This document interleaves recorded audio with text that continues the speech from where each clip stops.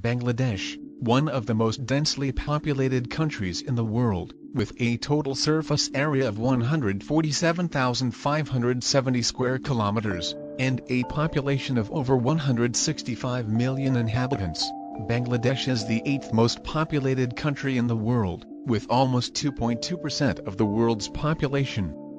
Due to Bangladesh's relatively small land mass and high population, its population density is also one of the highest in the world.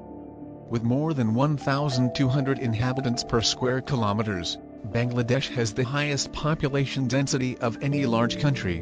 Bangladesh's population density is more than three times that of India. Bangladesh is located in southern Asia, the country is situated in the fertile plains of the Ganges River Delta, and borders the Bay of Bengal. Bangladesh borders India in the west, north and east and Myanmar in the southeast. India is 22.2 times as big as Bangladesh in terms of total surface area. Saudi Arabia is 14.5 times. Japan is 2.5 times as big as Bangladesh.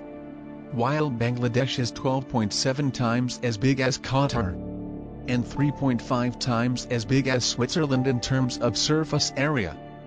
Bangladesh as a country did not exist before 1971. The boundaries of modern Bangladesh were established with the partition of Bengal in August 1947, when British ruled India was separated along religious, linguistic, and cultural lines.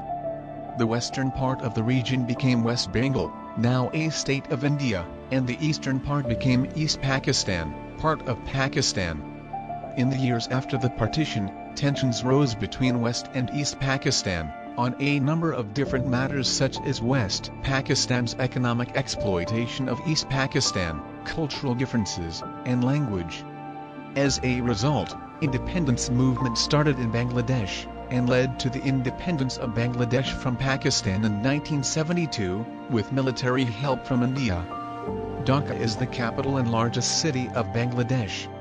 It is the most populated city in Bangladesh, and is also one of the most populated cities in the world. The Greater Dhaka metropolitan area has a population of over 20 million, while the city itself has a population estimated at more than 9 million. It is one of the most densely populated areas in the world, with a density of 30,000 people per square kilometer within a total area of 306 square kilometers.